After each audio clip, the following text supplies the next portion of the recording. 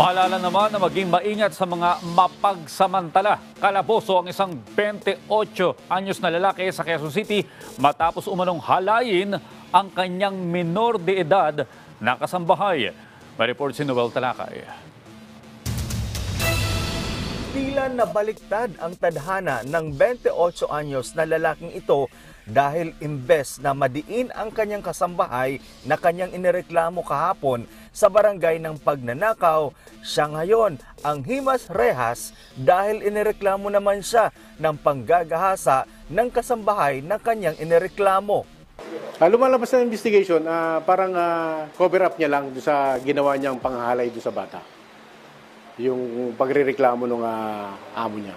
Batay sa inisyal na investigasyon ng Anonas Police Station ng Quezon City, dinala sa barangay ng lalaking suspect ang 17 years old itong kasambahay dahil ninakawan umano ito. Dito na nadiskubre ang kahalayang pinaggagawa ng suspect sa menor de edad na kasambahay.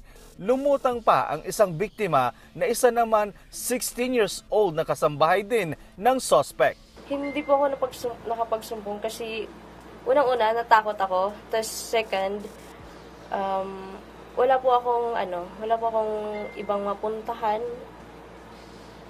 After uh, uh, aalis ako doon, wala akong ibang mapuntahan. Kaya nag-ano muna ako, naghanap muna ako ng ibang work.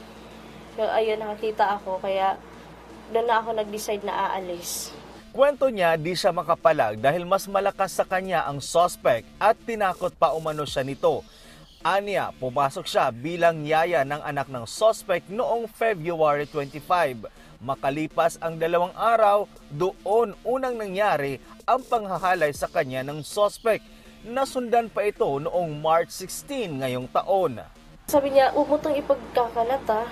Yung sa facial expression niya po, parang gusto niya akong ano yun, pag ipagkakalat ko po. May pagbabanta po sa ano niya, parang nagliliksi po mata niya nung sinabi niya sa akin. Nang tanungin naman ang suspect kaugnay sa paratang sa kanya, ito ang naging sagot niya. No comment, sir.